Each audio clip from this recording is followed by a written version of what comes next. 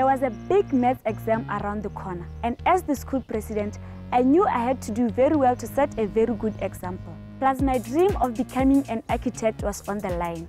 I knew I had to do very well in maths and design and technology. But first, there was this concert I've been saving for.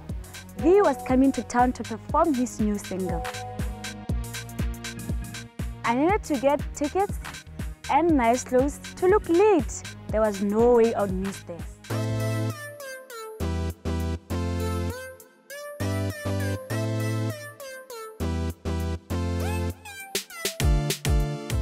Hey Milly, Hi, Reps. what's up? I'm cool and you? Are you ready for the big math exam? Nearly. It's next week. You know, Marcus gave me a set of revision kits, and if you want, I can cut you a deal. Oh, You don't have to buy them, you know. Just have to take mine and make copies at that place in town. He really did. Sure, he did. So what's the deal then? What deal? The deal is you just have to take them and make copies with a low price. Okay, thank you then. Okay, see you again. Bye. Bye. Photocopying of books is a very big problem in schools in Botswana.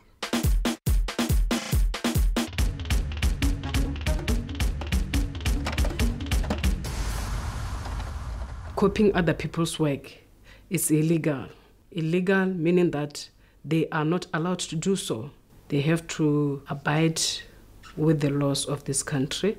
And most unfortunately is that those that are involved in it don't realize that it is illegal and that by so doing they are denying the authors a right to earn a living.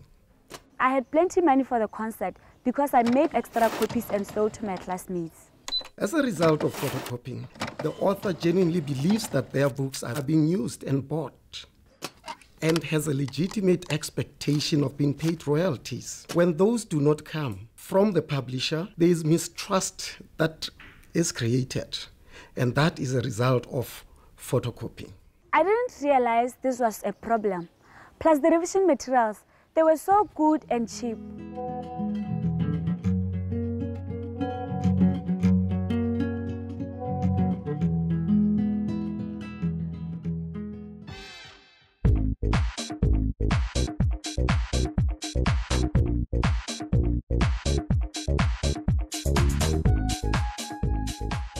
Hi guys, Hi. I've got revision kits for you. You can- Ah, Well, I got this one. yeah, we all have this.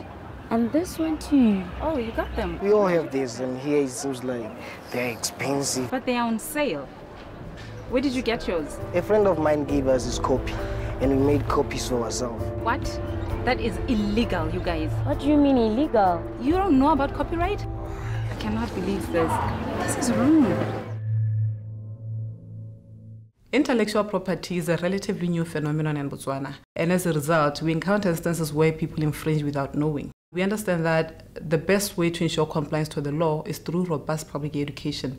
What we have done as CIPA before is to go into public spaces, including schools, to teach kids about what is permissible in the law and what is not. We're going to look at copyright.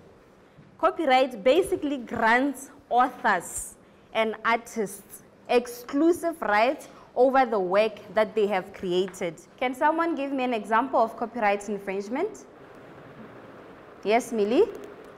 Making copies of other people's book without their permission. Yes, that's the perfect answer. What young people need to understand, however, is that the Copyright and Labor Rights Act does allow copying. One has to copy only a short excerpt of the book, but not the entire book. Has anyone seen an example of a copied book like this? I was in complete shock after that. I didn't want to break the law.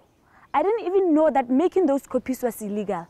I had no clue, and now I realized that I was wrong. Making copies of people's works is illegal. Once you find yourself with such copies, you need to report them to ensure that you stay within the limits of the law. I decided to throw my copies away. But the problem was that I found them really useful to me. I thought they would help me on my maths exam on Monday. And then there was the V concert on Saturday I've been saving for. I didn't know what to do.